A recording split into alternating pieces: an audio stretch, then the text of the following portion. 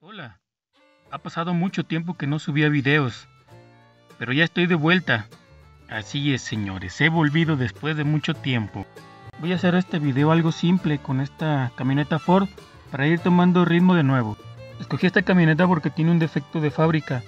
Si no lo tuviera mejor así la dejaría, ya que no soy muy fan de modificar carritos Greenlight porque pues ya saben que son más costosos.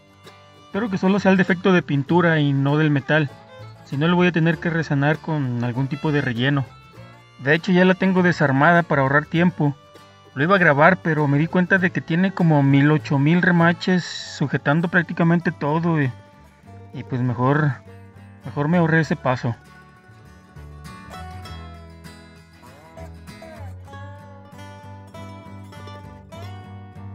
Como tiene algunas marcas del desbastado, entonces con la lija las voy a tratar de desvanecer lo mejor que pueda. Bueno, como ya les había dicho que esto iba a ser muy simple, este, entonces vamos a pasar directo al proceso de la pintación, ¿verdad? Necesito igualar todo el tono de la camioneta, pero como no quiero ensuciar el aerógrafo para ponerle el primer, así mejor voy a usar el aerosol color cromo como fondo. Al cabo cubre de volada el cromo y con una leve pasada es más que suficiente. Y ya para darle el color que escogí, voy a usar esta pintura para uñas que es metalizada. Me gustan estas pinturas porque tienen unos colores y tonos bien geniales. Lo malo es que son muy frágiles y se pelan si no les ponemos algún transparente que las proteja.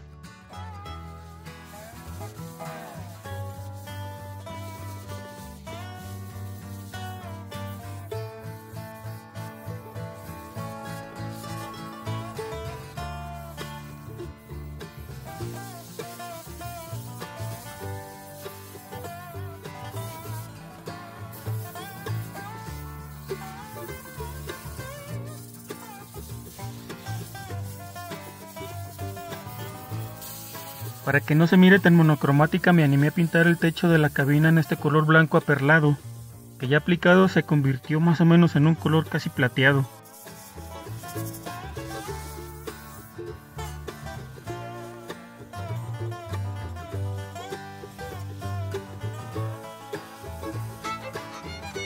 Aquí es donde mi pulso de maraquero me juega malas pasadas.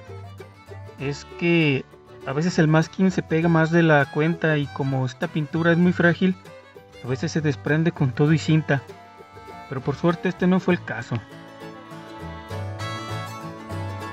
Y ya casi para terminar con la apariencia, también imprimí estos decals de la palabra Ford que llevan en la puerta de atrás de la caja.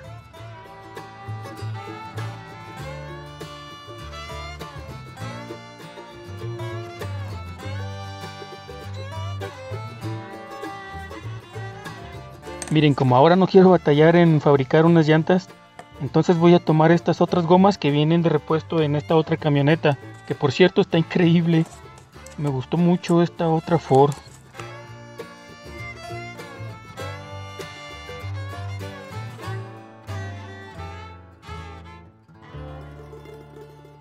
Y ahora sí, ya nada más me falta armarla y darle una limpiadita y listo, ya aquí ya está terminada la Ford del 76 de la marca Greenlight.